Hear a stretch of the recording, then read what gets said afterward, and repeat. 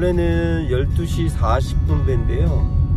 어, 나부리가 세서 10시에 출발을 한다고 하네요, 배가. 어, 그래서 8시까지 차량을 선정을 해야 된다고 전화가 왔어요, 또. 그래서 지금 일찍 나가고 있는 중입니다. 어, 배 들어왔네. 저리 가야 돼. 그리고 바로 앞에 사무실 있거든요. 네. 사무실 가요? 네, 바로 앞에. 있습니다. 그럼 운전자 또 네, 감사합니다. 네. 차량은 다 맡겼고요. 1시간 정도 후에 승선할 수 있다고 합니다. 1시간을 어떻게 교해야 돼요?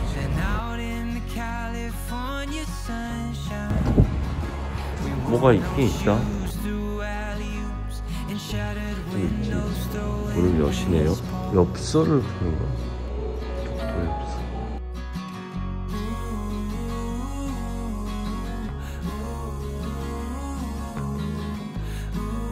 울릉도 한 2주 정도 있었는데요. 어, 자연 경관이 너무 예뻐서 너무 좋았고요. 어, 한 가지 단점은 일단 비용이 너무 많이 들어간다는 거예요. 배상만 한 50만원 들어갔고요. 그 다음에 승선권이 한 14만원, 15만원 가까이 들어갔고, 현지 물가가 너무 비싸요. 물가가. 어, 그래서 짧은 기간 동안 여행하시는 거는 좀 추천하지 않고요.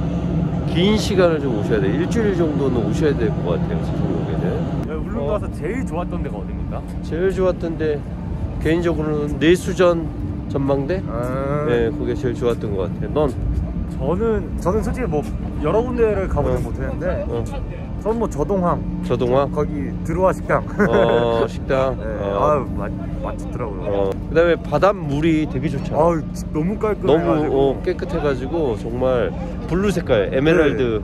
그래서 여름에 한번 와가지고 저도 어, 기회 되면 보면은 따라와가지고 어, 그래 오케이. 교통편이 되게 불편하지 않니? 울릉도 도착하면? 아무래도 그렇죠 그 차가 없으면 솔직히 막 쉽게 다닐 거리가 아닌데 어. 근데 저희는 뭐 버스도 음. 잘 모르고 어, 그다음에 택시 비용도 너무 네. 비싸고 교통이 아직 좀 불편한 것 같아. 어디야? 여기 하고 여기. 1, 2입니다 어. 근데 배가 가는 방향이 아니라 뒤 방향이라서 호미 쪽에 가면 배 떠나는 거 볼 수 있네요.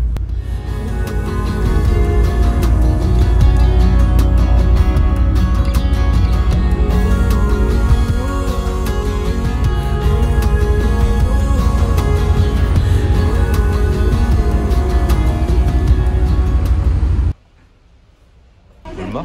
얼마? 짜장면 두 개 2만 원이라고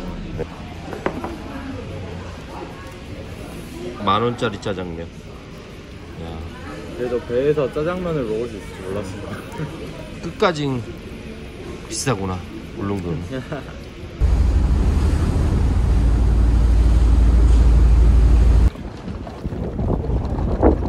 저 뒤에 보시면 포항역 가는 버스가 따로 와 있어. 포항역하고 시내 가는 버스는 저 뒤에 있고 차량은 후미 쪽으로 가서 차량을 찾아야 돼요.